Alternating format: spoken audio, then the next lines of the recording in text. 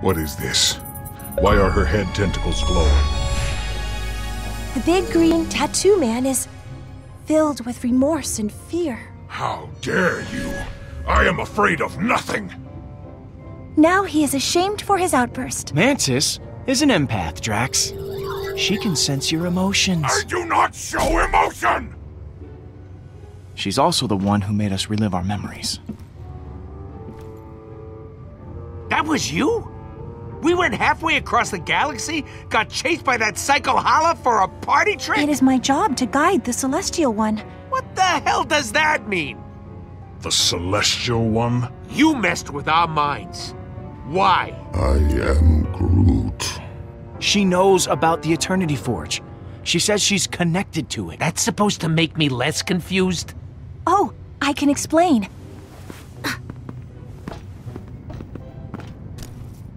Long ago. Wait, the- wait, wait. Are you gonna spew some long mumbo jumbo about where you come from and why I should care? Yes. Is that a problem? Remember Thanos? Going on like, now that I got this, I'm gonna roll through the galaxy like a giant turd and blah, blah, blah. Well, I, for one, want to hear it. All of it. Then it's time for a nap. Go ahead, Mantis. Enlighten us. Of course, Peter Quill. I have communicated only through my feelings for years. It is nice to communicate with my mouth. The Eternity Forge coalesced into existence as a way to balance the life energy of the universe. To create, you must destroy, and to destroy, you must create.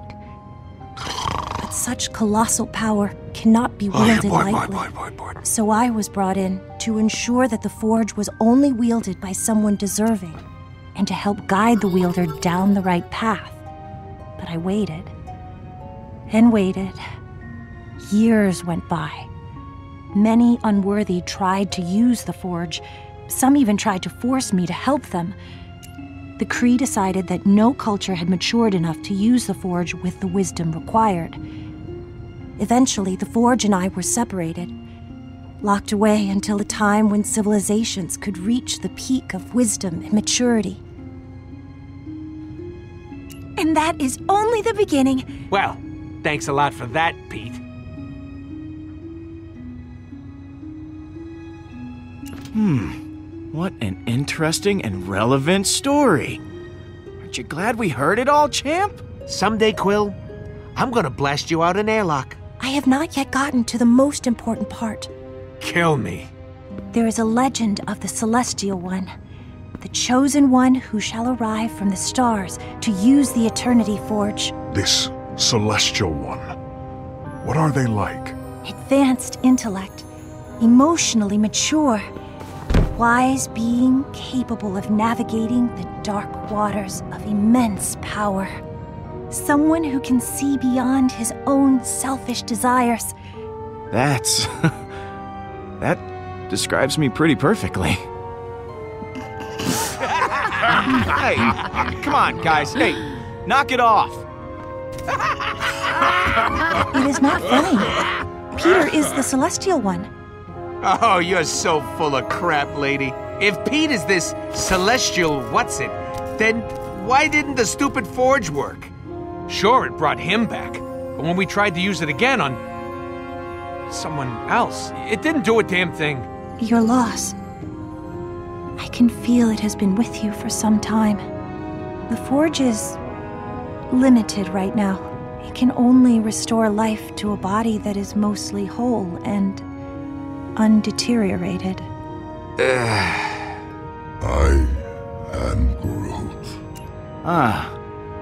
That explains Hala's delightful corpse collection. She'll bring them all back if she gets the forge. Fantastic. So it's incredibly useful to our worst enemy, but useless to us. It can be made more useful. How? The Celestial One must deliver the forge to the sacred shrine. There you can unlock its true power, or destroy it forever. And that true power is what? returning anyone from any time period back to the realm of the living. Lost ones, loved ones, I suppose hated ones too, if you were so inclined. You can bring back anyone? Like, anyone at all? Anyone who ever existed can be brought back, so long as you have the required energy, of course. One life for one life. So someone still has to die for the thing to work. Then let's finish our drinks and go use this thing. Yes! Really? Who are you planning to kill? Well, you're kind of annoying me right Hala now. wants to use this forge to raise her army. We have to destroy Not it. until my family is returned to me. I am Groot. Right? Groot says he's on my side. That's three to one, Gamora. We win. That is not true. Groot feels the opposite. Uh, I mean, maybe something got lost in translation. Hey, I can't believe I never thought to ask this question until now, and it's terrifying me. Do you even understand, Groot? of course I do. I'm sorry, I just don't want that thing destroyed until we use it. It was a one time thing. I am Groot. Okay, a two time thing. So, it is a tie then. Two for using it. I am Groot. I'm gonna take a guess. He said two for destroying it. Don't you get what this means? We can bring back anyone that we lost. Wow. Uh. Okay, this is, uh. it's a lot to process here. Kind of heavy on the responsibility, you know? It's. Let me think on it. well, one way or another, this all ends at the shrine. Can you take us there, Mantis? I have never been, but with your help, I believe I can sense its location. May we have some space to concentrate? Gladly. If anyone needs me, I'll be emotionally unavailable. And that's new. Ha ha ha.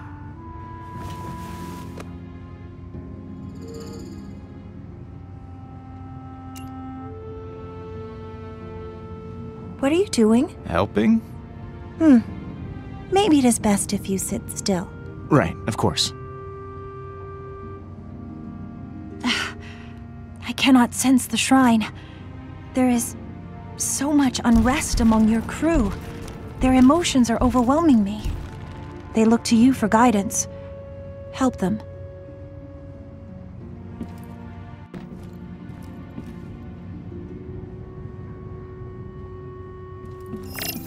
Calm down. Drax, how are you doing? I am hopeful the Forge can bring my family back, if you choose to use it. Well, I. So I must trust you would not take away my chance to reunite with my wife and daughter, even though you did not behave in a trustworthy manner.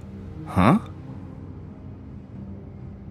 You had no right to have the antenna woman do that to me. You did not even ask my permission. I just wanted to know what was going on. And here, In my chest, in your heart. it is pumping blood. Blood and feelings, buddy. Blood and feelings. She told me I was afraid. I do not like to feel afraid. Such feelings bring me great shame. But talking to you, a frequently scared person, has helped. Ah. Anytime, Drax.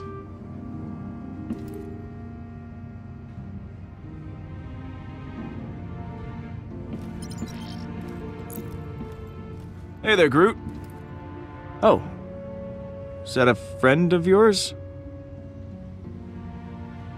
I am Groot. I'll tell you this. We're all gonna be okay. No matter what happens with the Forge. I am Groot.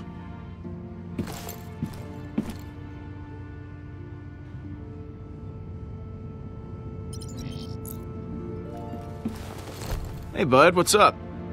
Well, if it ain't Captain Indecision. What are you. I, I don't know what's holding you back from doing the right thing here, Quill. I mean, I can count on one paw how many folks ever get a chance to bring back someone they love. I am Groot. And what happens if Hala gets a hold of it, huh? This falls into the wrong hands, the whole galaxy is screwed. The whole galaxy is already screwed. It's always screwed. You think if we destroy this thing, that'll make a difference? Ah, the only ones you're screwing are your so-called friends. Rocket. You know what, Pete? I wish the Forge had never brought you back. Yeah, I am Groot. it should have brought someone else. Anyone else back instead. Lylla would be ashamed of you right now. You saw one damn memory of her. And You're talking like you knew her? Go to hell, Pete. Only this time, don't come back. I am Groot. You can both go to hell.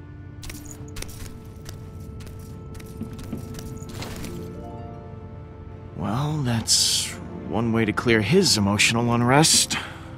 I am Groot.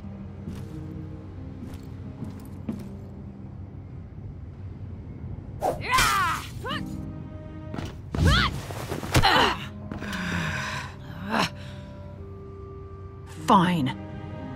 Fine. Fine. Fine. Hey, are you okay? The hell was that? I tried to say everything I could think of. I thought maybe if I asked her to stick around for a while. Ugh. She won't hear it. Not from me.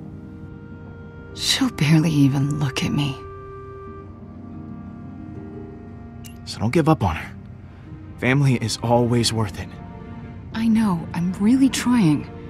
But I just can't find the right words with her.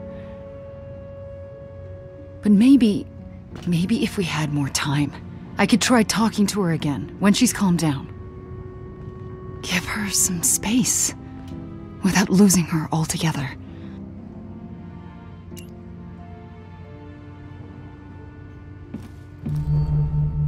Then that's what I'll do.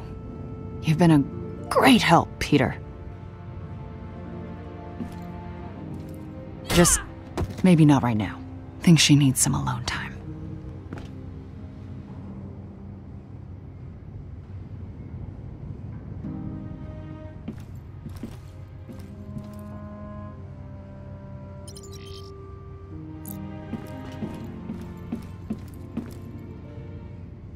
How about now?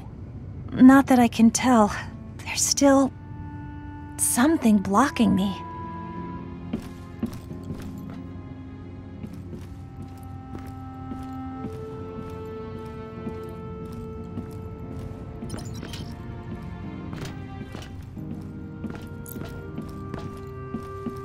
Um.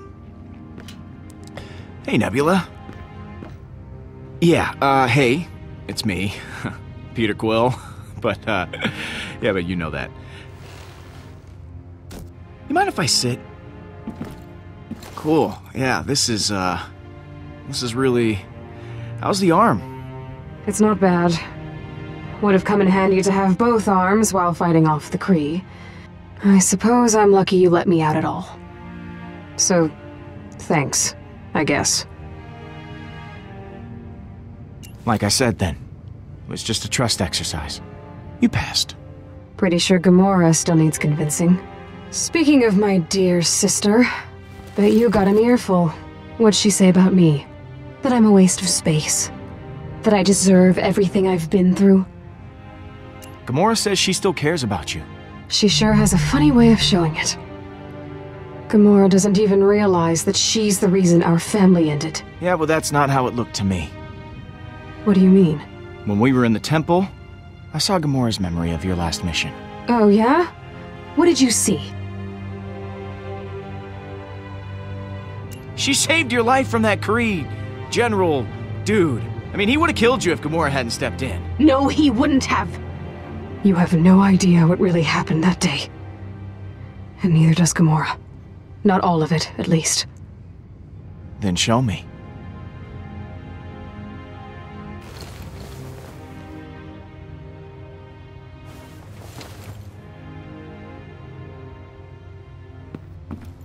Now, please take my hand.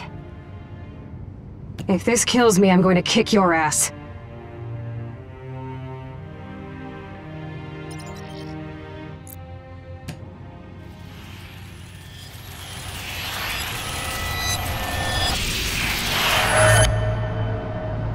Is everything all right? What's going on? Thanos wants to talk to you. To me?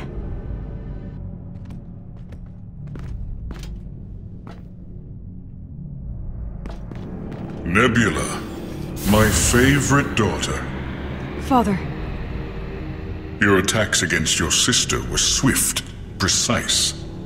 You disarmed Gamora easily. I was impressed. Gamora is a good teacher. I owe all my knowledge to her. And yet you emerged the victor. You have clearly outgrown her teachings. There is something you must know about Gamora. She has informed me that she does not want you around anymore. That she works better alone. Every day she grows more agitated and bitter as she watches you surpass her. You've seen her lack of respect. She disobeys me time and time again. I no longer trust her. You shouldn't trust her either, Nebula. Gamora has become a risk to our family. I'll keep an eye on her from now on. Good. That is all I ask. If she continues to be a problem, you might take her place. Stand by my side as my greatest warrior and only daughter. Gamora makes herself more useless, more unreliable with each passing day. Where she fails, you thrive. It would be an honor, Father. We shall see how things go on Phalion. This is your moment. Go and prepare. Keep your communications open. I'll be monitoring the situation.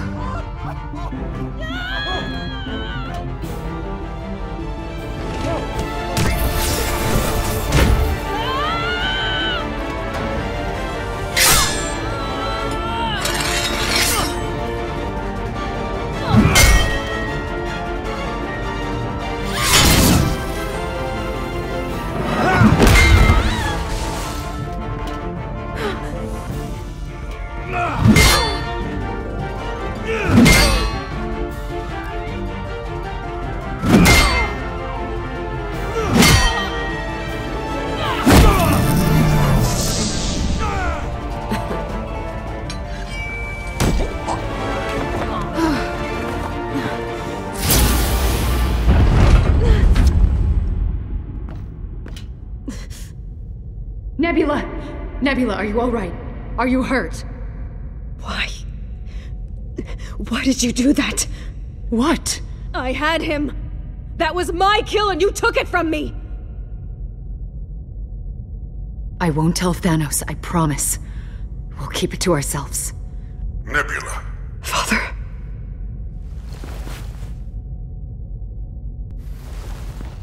if you want to gain the honor you desire, kill Gamora. If you don't get rid of her, I will do it myself. Only I will ensure that your sister suffers greatly. Give me the device. Nebula, what are you doing? You took my kill. Give me the device in exchange. Give it to me! Now! I'm not asking here. No, that's not how this works. I don't take orders from you. Then you leave me no choice. What are you.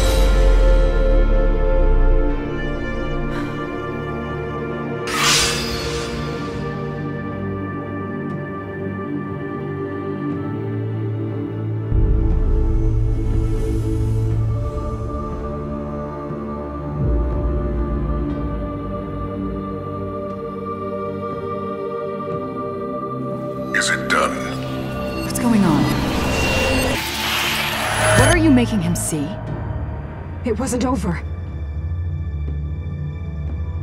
She showed me your last mission together. I tried to show him what really happened with Tarval, but you interrupted us. I'm sorry. I. I didn't know what was going on. but you naturally assumed the worst. What worst. do you expect after everything that's happened? Hey! She was always pushing against Thanos, testing his limits. What happened was her fault. Yeah.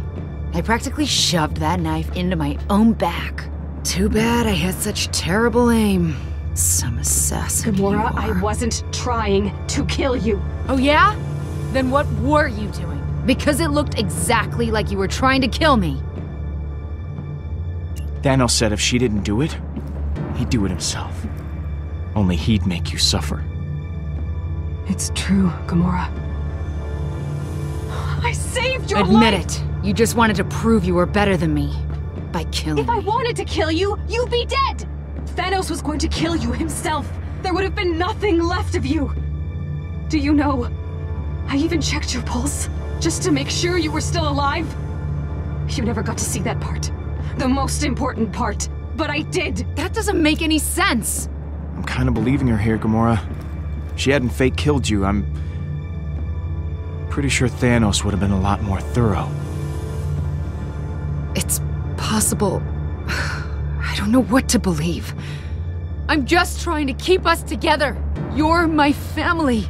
Oh, so you finally agree with me about something. What a surprise! I'm just as surprised as you. I figured you'd disagree with me just because that's what you do. Well, I'm not used to you saying anything I'd ever Maybe you with. just aren't listening. If I'm not, there's probably a good yeah, reason. and that reason is that you don't listen. But logic is completely circular! Guys! Guys! S- stop! You both want the same thing! He's actually right. It happens sometimes. Uh, more than sometimes. Thank you. Maybe we could give each other a chance. All right.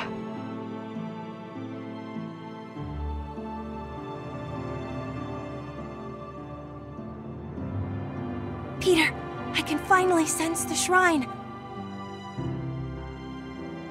Okay. Let's go.